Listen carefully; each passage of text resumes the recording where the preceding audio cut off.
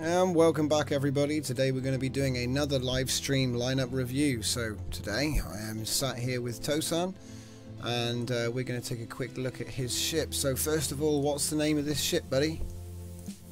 This is the Fox-Tech Blockade Runner. The Fox type blockade runner. And if you'd like to tell me a little bit about it, obviously you've gone with the blue, white and black for your color scheme.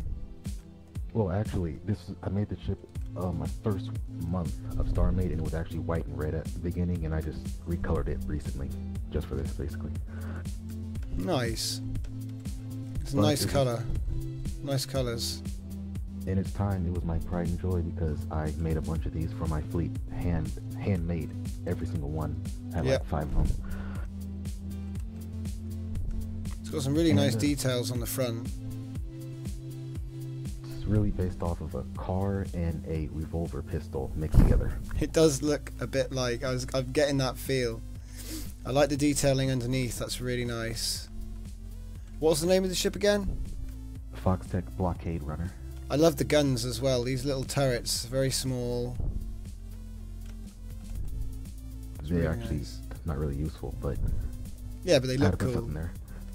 They look cool though, and I love the grill. it's really fresh. basically it's three people just two people flying. There's one person that that you'll be trying to get through a blockade. There's a bed on the bottom of it. It actually has three floors. Crew quarters in the back. Antennas on the top because I was feeling random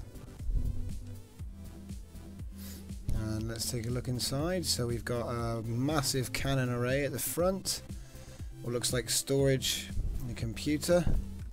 There's a camera and a bridge. Moving down and through the door. We've got a nice little area here. The core. Coming back, got three doors. One going to the side, leading out. Obviously the other one's doing the same thing. Going back, we've got another corridor. Leading to an observation area, top and bottom. And more doors. So then we've got a nice little interior space here, a living space. living space on And the bottom and top down the bottom, oh, and it's different as well. So what have we got? Showers, yeah, showers and bathrooms, and bedrooms. So having a look at the floor plan.